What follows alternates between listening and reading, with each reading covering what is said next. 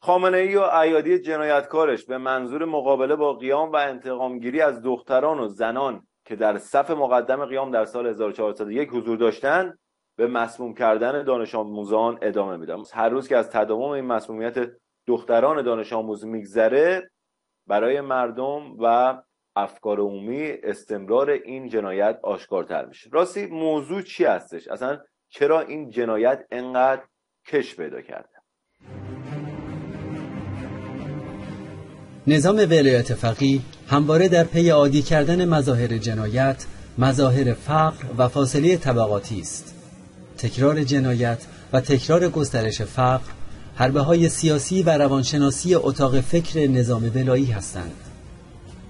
سالیان متمادی اعدام را از پشت دیوار زندانها به میدانها و خیابانهای شهرها آوردند تا چشم و روح و روان مردم به تماشای این جنایت عادت کنند که بشود تکرار و تکرار کرد و مردم بپذیرند که تماشای جنایت امری عادی در زندگیشان است. حاکمیت همین کار را با جریان اعتیاد کرده است و می کند. همین کار را با جریان گسترش فقر کرده است و می کند. و اما حالا پس از گسترش قیام 1401 با پیشتازی زنان و دختران ایرانی قصد دارد تداوم جنایت علیه دختران دانش آموز را آنقدر کش بدهد تا مردم بپذیرند که همین که هست و به آن عادت کنند.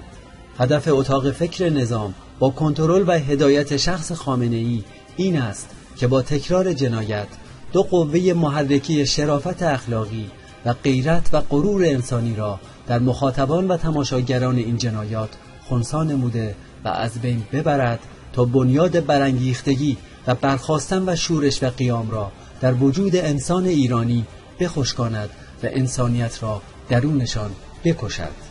هدف این است. ولا غیر.